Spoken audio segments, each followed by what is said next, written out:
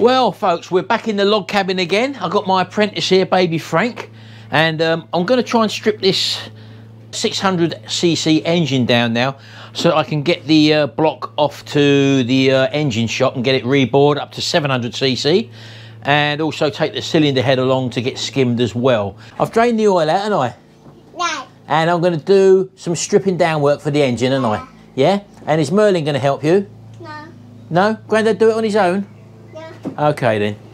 So there we go folks. So I've just drained the engine out because I've got to turn the engine over. I've taken a lot of it apart now so I'm just going to turn it upside down. Going to need um, cleaning out inside as well because it's got a lot of uh, corrosion there in the waterways as well but um, the camshaft can only come out once I take the drive out I think for the um, distributor which goes in there so that I'll see that when I spin it up the other way because it won't actually pull out now so um, let's turn it upside down get the uh, sump bolts off. Hopefully I won't lose too much oil on the surface now because it's mostly been drained out but it will obviously be some spillage.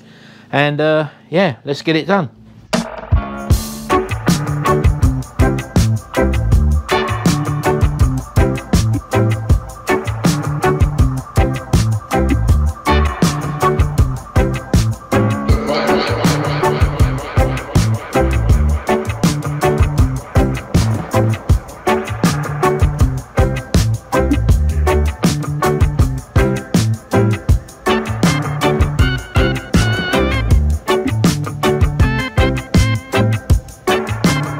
the uh, sump bolts undone now let's just try and prise this off now. Shouldn't be too hard. And see what we got underneath. Oh look at the crap around that sump there. Look at that. Just shows you look. That's one of the reasons why you don't go around starting up old engines that have been sitting down for ages and ages. Look at that look. Amazing. And also that sludge build up on the strainer there look I'm not sure not whether or not there's um, oil and water mixed into that. So they could have had a slight head gasket issue as well. It looks to be a bit sort of creamy there as well. So um, I'm gonna have to clean all this up. There's the oil pump.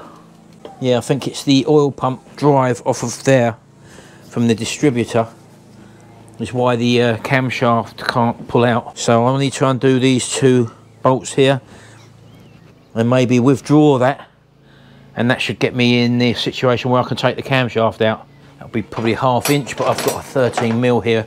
Hopefully that'll uh, get me in there. It shouldn't be that tight actually. No they're not. I think you can get oil pumps for these but um, not sure if I'm using the original yet on the rebuild. Bearing in mind this is a low mileage engine Right, okay, that's them two off. Now hopefully this should just lift off now. Where's our third one? No, might need a bit of teasing. There we go.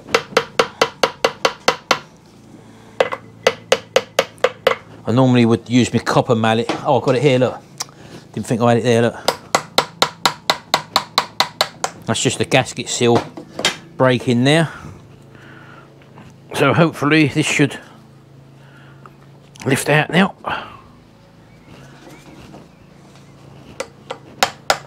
there we go. There we go. Look at the sludge on that. Look at that look. Look at that thick little look, look how thick that is on there look. And that's one of the things with old engine oils why you um, used to start them up to warm them up for draining the oil because they was a lot thicker and sludgier back then but uh, today's oils are a lot thinner and more refined. Right let's put that down there. And in here is your distributor drive shaft which I think should pull out. But first of all we can um, remove this gasket here. And I think there's a little retainer underneath it where you have to take these off so that you can get the camshaft out or the crankshaft rather. Let's get a blade under there look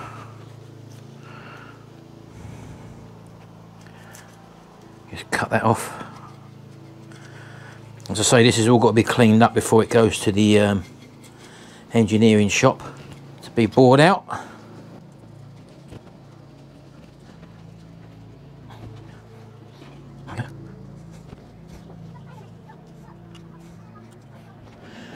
Right, okay, so you should get a large screwdriver now and just undo these two plates there.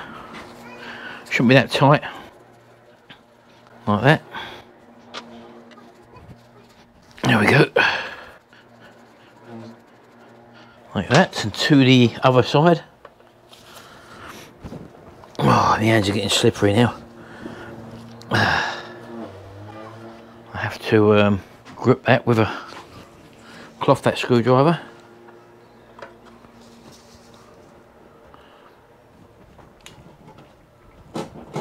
Let's tight that one. Let's try this one. Just give it a slight tap with a mallet just to shock the threads a little bit.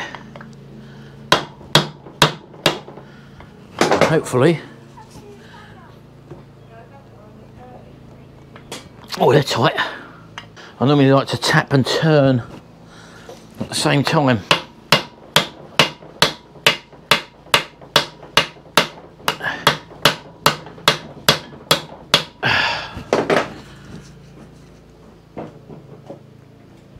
There we go. Just little techniques, you know. Tap and turn. Otherwise you'll end up stripping the uh, heads off the screws. Let's try it with this one. Tap and turn at the same time. So I'm putting anti-clockwise pressure on that while I... Let's have a go at that. There we go. Tap and turn. That's undone that one. Right now, put a screwdriver in this little bridge there you see, just lift up from underneath, look. Just lift it up from underneath. And that's the little uh, bridge you got there so you can get to your bolts now to get your crankshaft out. Put them on there like that. Yep. Just for this little casing.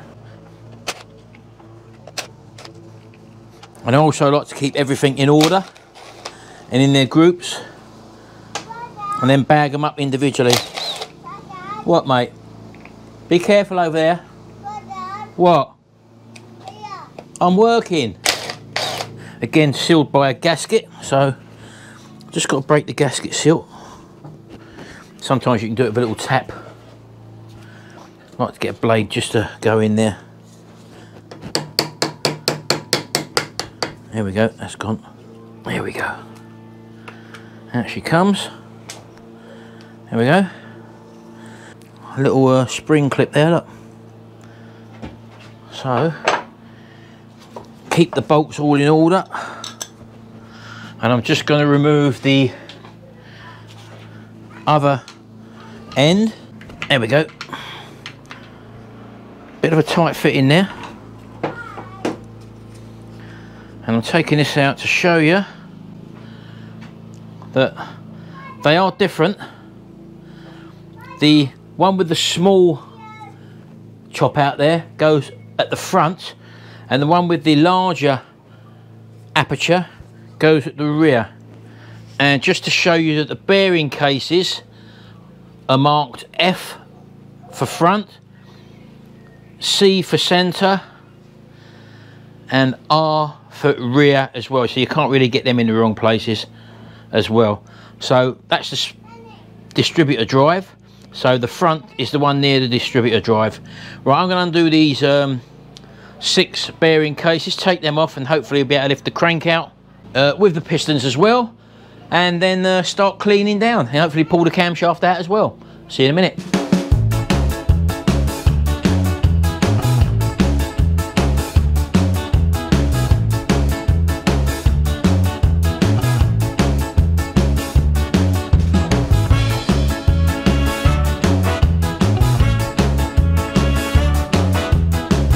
just lifting out the crankshaft with the pistons. There we go. One complete unit there folks. Come out nice and easy actually. Gonna lay that over there. Right so to get the um, distributor shaft out I think you'll find there's a pin on here which we have to punch out. So I've just located it there. I've got to punch it out, so bear with me on this. Yeah, just starting to move. You can see it just sticking out now, folks. Can you see that? So I've got to drift that all the way out. Let's try one of these. That's got it. Oh, I've just dropped it. I would drop it, wouldn't I? Now I know it's in there somewhere. So now I'm just gonna maybe just punch that centre shaft out now. Should go down, there we go. That pushes the shaft out. There we go. So that comes off. I'm gonna need to locate that in a minute, but it's all oily in there at the moment. Probably when I get the camshaft out, I'll be able to see it. Just continue tapping down that um, distributor drive. Till it falls out the bottom end. As you can see there. I will just stick that back on there. Like that. And now, hopefully, the camshaft should be able to pull out now and I should be able to find that um, pin. Just pulled it out. And there's the camshaft. Happy days. Let's have a look for that pin and I've just found it. There we go.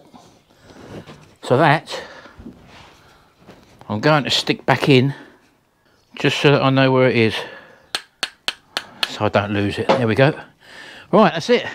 So that's basically the base of the engine stripped down. There's a ball in there. I think that it's got to come out as well. I'll take that out and I can see a ball bearing in there as well so I've got to be careful of that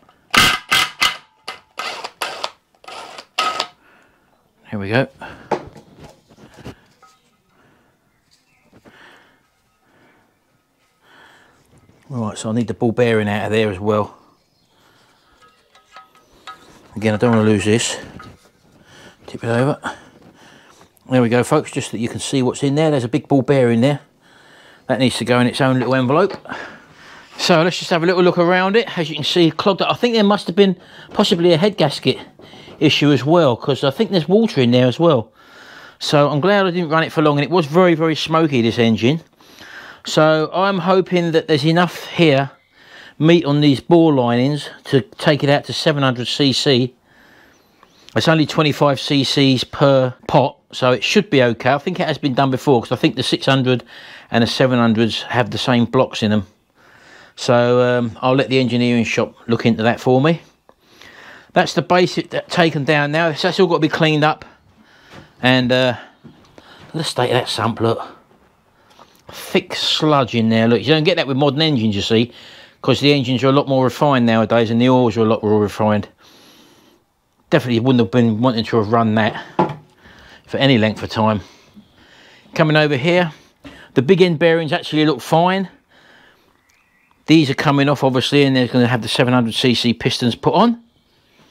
And that's it. I'll take my time just to strip this head down. It's only taking valves out. You haven't got to see that. So there you go. Work on the trotter van is now underway again. And um, I hope you enjoyed that video. Keep an eye out. So I'm going to get this all cleaned up, shipped down to the uh, engine shop now. Hopefully they can get the 700cc pistons to go in there. And then uh, we'll be putting it all back together and moving forward with the trotter build. Anyway, thanks very much, folks. Hope you've enjoyed this video. We'll see you in the next video. And until then, bye for now.